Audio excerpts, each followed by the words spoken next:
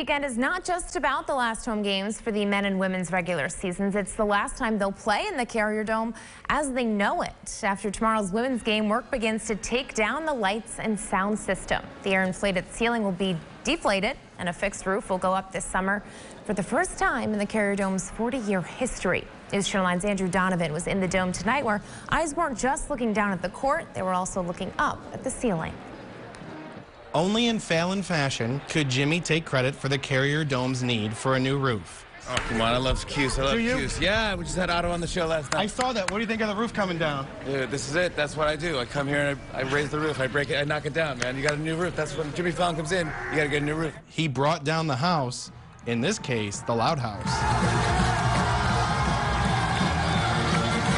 When he wasn't starting trouble with the band, he was sitting with Patriot stars Tom Brady and Julian Edelman to take in the last men's basketball game under the air-inflated roof.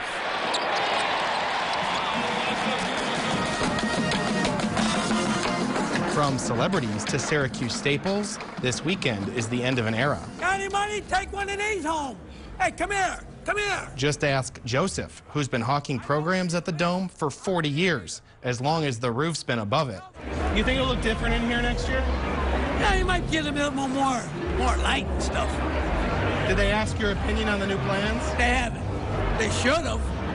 He's looking forward to what's ahead and above his head. Are you sad to see the roof go? No. Time for something new. Time for something new. But not before a farewell to the fabric that's kept the stadium dry, warm, and even sometimes too warm. That's the reason we brought the kids today. I grew up in Syracuse, pushed out of the dome is a big memory, so I wanted my kids to experience it too. From longtime workers to longtime fans, everyone seemed to be looking up a little more than usual. Say dome! I came with my dad when I was growing up, so this is, uh, now I get to take my kids. It's great. Fallon raised the roof today, but all of Orange Nation will raise the new one together at the Carrier Dome. Andrew Donovan, News Channel 9. The SU women's basketball team will play their final game under the iconic roof tomorrow with the game at 4 p.m. against the Boston College Eagles. The dome will be closed after that game as those re renovations, easy enough for me to say, will then begin.